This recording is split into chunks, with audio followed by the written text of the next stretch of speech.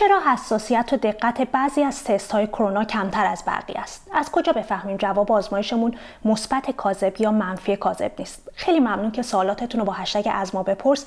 برای تلگرام بی بی سی فارسی میفرستید. من نازنین معتمدی هستم تهیه کننده برنامه 37 درجه. مهمون امروز ما دکتر گلرخ جاوید سپر هستند پزشک و فوق تخصص آسیب شناسی بالینی و تشریحی از ماساچوست آمریکا. خیلی ممنون دکتر جاوید سپر سلام خدمت شما و بینندگان و شنوندگان عزیز.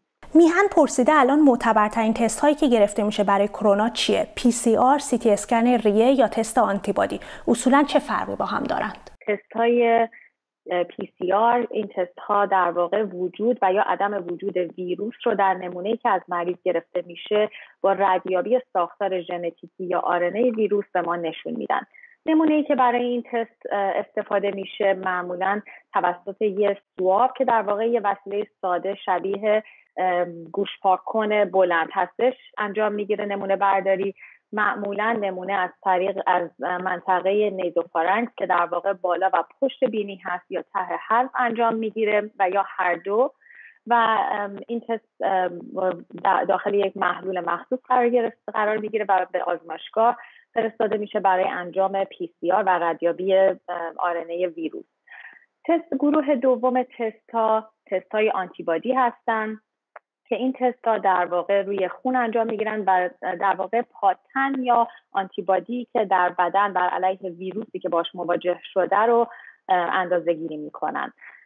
در تحقیقات نشون دادن که تراکم ویروس در منطقه بینی و پشت حلق بین روزهای اول تا هفتم پس از شروع علائم بیشترین مقدار رو داره. بنابراین بین روز اول تا هفتم حساسیت این تست های پی سی آر بین 60 تا 70 درصد هستن تست های آنتیبادی دیرتر پاسخ میدن و به خاطر اینکه بدن وقتی که با ویروس جدید مواجه میشه یه مقدار طول می‌کشه تا پادتن یا آنتیبادی ها رو تولید کنه. مطالعات نشون دادن که هفت روز هفتم تا یازدهم بعد از شروع علائم زمانی هستش که ایمونوگلوبولین M در خون اکثر افراد قابل اندازه گیری هست و حدود 14 روز بعد از شروع علائم زمانی هست که ایمونوگلوبولین G قابل اندازه گیری میشه در افراد در اکثر افراد.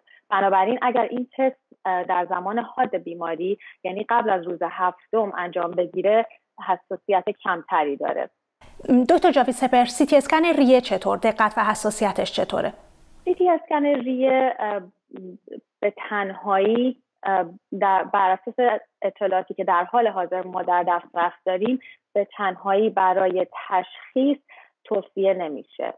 دلیلش چیه؟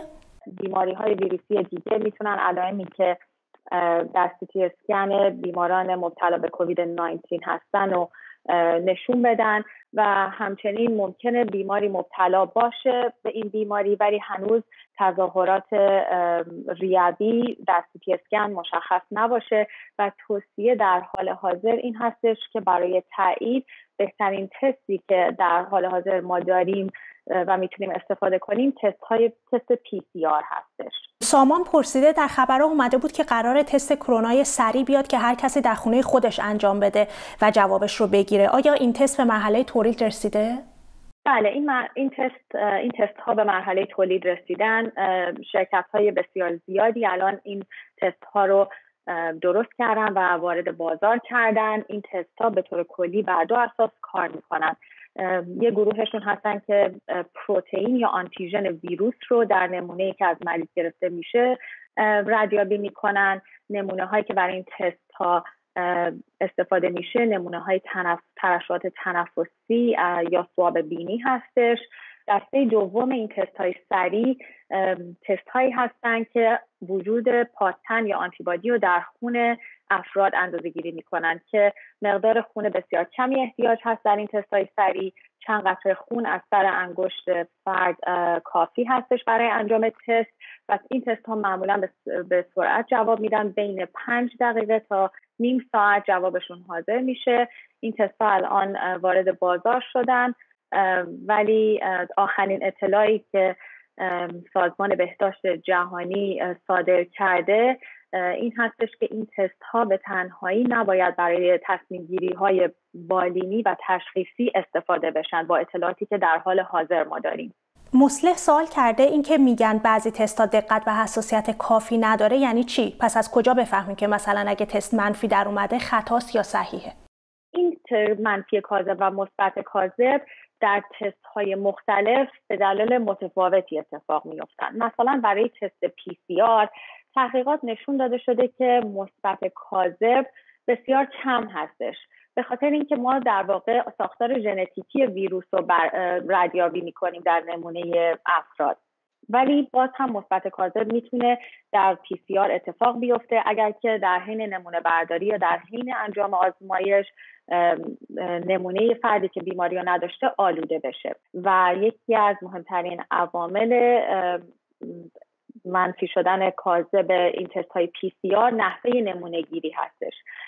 نمونه گیری این تست ها با وجودی که به نظر ساده میان به وسیله یه swab از بینی یا ته حلق پیچیدگی خودشونو دارن. فردی که این نمونه ها رو می‌گیره باید تخصص کافی داشته باشه در انجام این این تست و اینکه حتی سوابی که استفاده میشه باید سواب مخصوص باشه. به این, به این مفهوم که دیده شده سواب هایی که چوبی هستن یا سواب هایی که آغشته به موادی هستن که ویروس رو غیر فعال می‌کنن باعث منفی شدن تست به صورت کاذب میشن. همچنین محلولی که تست درش قرار می‌گیره دمایی که این تستی که انجام شده توش نگهداری میشه تا به آزمایشگاه برسه. مدت زمانی که این تست یعنی در واقع این تست انجام شده ولی ما منتظر هستیم که آزمایشگاه این تست رو انجام بده.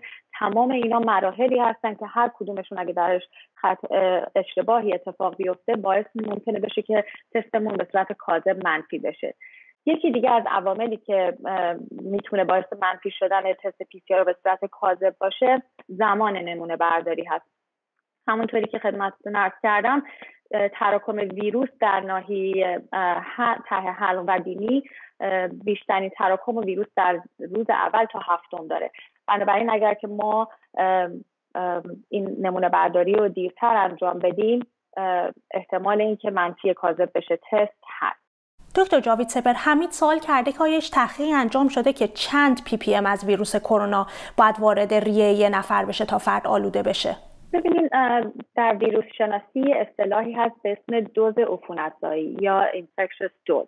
این در واقع میانگین تعداد پارتیکل هایی که از یه ویروس احتیاج هست که باعث بیماری بشه در فرد و اندازه گیری می‌کنه. ما اندازه گیری برای تمام ویروس ها رو نداریم به خاطر اینکه این بسیار کار سختی هست هم از نظر تکنیکی هم از نظر اخلاقی. و, و برای ویروس کووید 19 این اطلاعات وجود نداره.